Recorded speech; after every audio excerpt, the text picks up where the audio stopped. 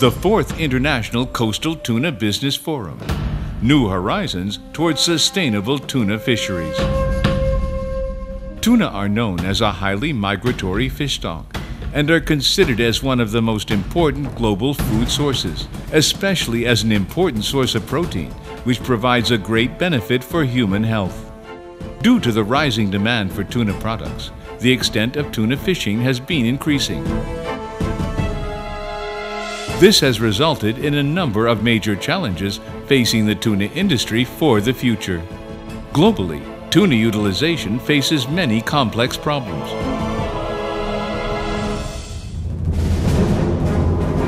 In 2011, fully one third of tuna stocks were estimated as being fished at biologically unsustainable levels, while only two thirds were being fished within biologically sustainable limits.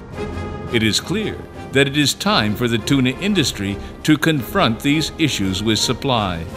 Currently, the effort to sustainably conserve and manage tuna fisheries has become a primary concern.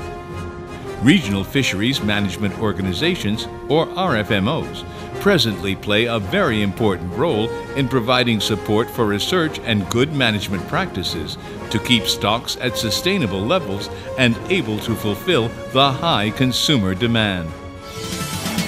Indonesia is the largest tuna producer in the world and contributes approximately 16% to global tuna production.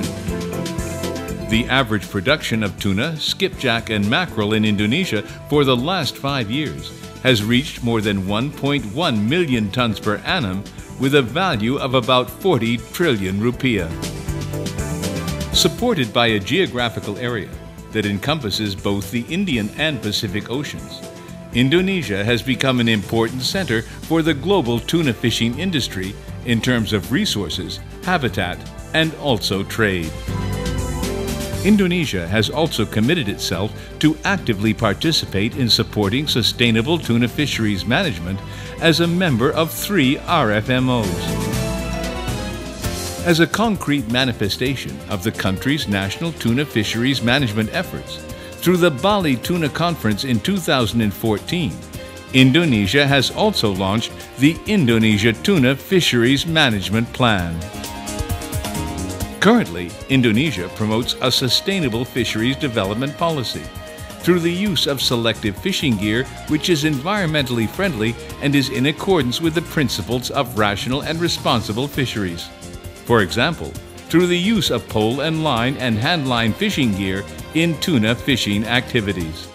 Various certification schemes have also been introduced to encourage fishermen to catch fish in an environmentally friendly manner. This is because fish products originating from selective catchment areas and using environmentally friendly methods are much desired by international consumers. Market based incentives also encourage better management of tuna fisheries, and more efforts towards sustainability need to be encouraged.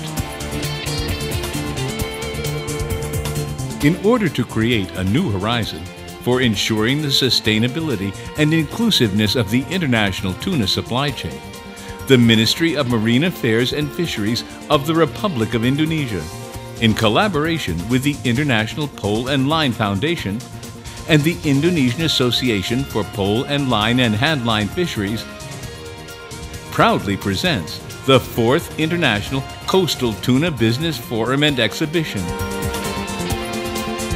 Through this forum, it is hoped that key actors in Indonesia's commercial tuna fishing and processing sectors can meet and discuss critical issues together with leading international tuna brands, retailers, government officials, and other stakeholders in order to develop a globally sustainable business in tuna fisheries for the future.